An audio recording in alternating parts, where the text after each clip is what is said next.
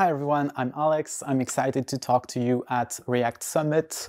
I'm a tech lead at BAM. We're a company based in Paris. We develop mobile apps in Kotlin, Swift Flutter, and of course, React Native. And today I want to talk to you about the performance of React Native apps.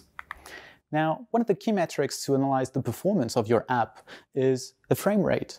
You want your app to run at 60 frames per second one of the good things that come with React Native out of the box is this tool, the performance monitor. You get actually the frame rate of the UI thread and also of the JS thread. So now, one of the issues we're facing in our app is um, the UI thread rate was consistently low after starting the app, even when the user was doing absolutely nothing. So the question was how to find out what is actually happening under the hood. And the solution to that was systrace. Systrace is short for system trace. Um, it's available out of the box on the Android SDK in the platform tools folder.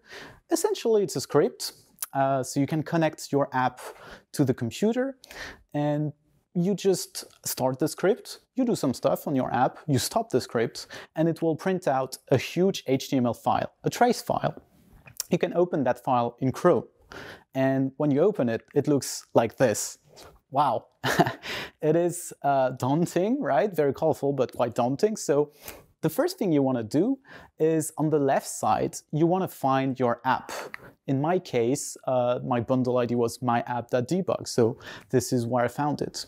And then below it, since we're talking about frame rate, what is really interesting is the frames line. So if you zoom in a little bit, on the frames line, uh, you will notice a lot of Fs. There are red Fs, yellow Fs, and green Fs. You might guess that a red F is bad and a green F is good. Indeed, uh, a green F is actually a frame that was able to be calculated under 16 milliseconds, that the app can actually run at 60 frames per second. Yellow Fs and red Fs, not so much. So if you're trying to analyze performance issues, you want to take a look at sources of red Fs and yellow Fs. In our app, we actually had two major sources of red Fs. Let's take a look at the first one.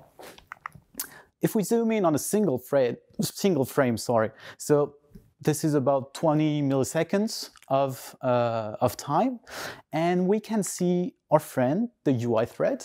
So this is what was actually reported in the performance monitor, right?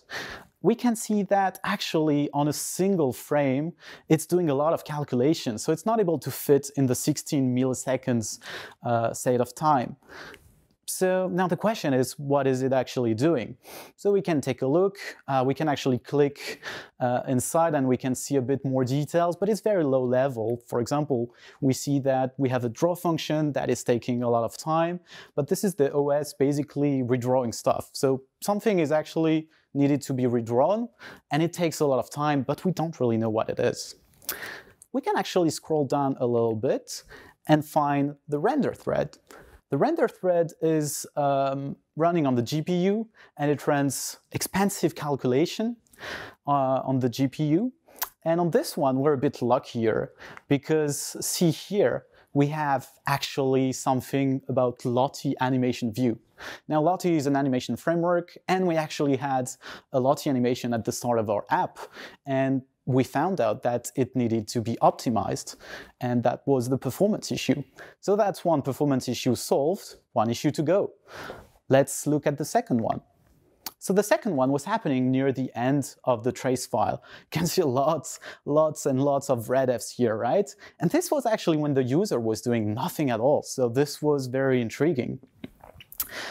If we zoom in like before on frames, uh, we can see that a lot of stuff happens on the UI thread and the render thread. They're, they're really busy with calculations, but we're not so lucky as before because all of the tasks seem to be very low level. We don't, we can't really get what is actually happening. We know that something expensive needs to be redrawn any every time, but we don't really know what it is.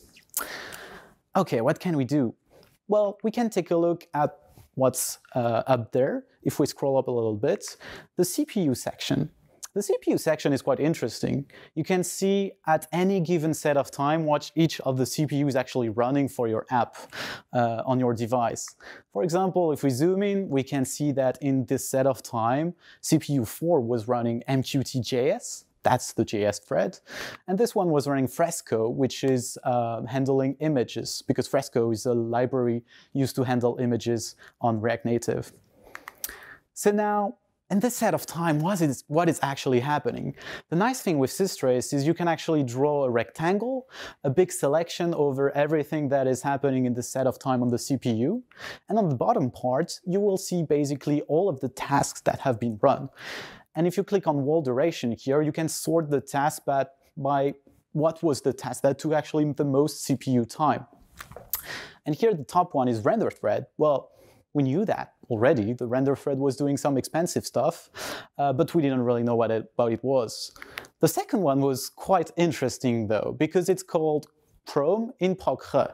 And a quick search, and we realized that this was related to web views. So we thought, what, what web views do we have? And it turns out we actually have ads uh, running at the start of our app, and those ads are running in WebView, and they also needed to be optimized. So that was our second source of performance issue.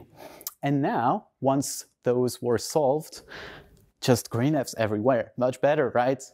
So that's it. I hope you learned a lot of things, and feel free to hit me up with questions. Thank you for watching.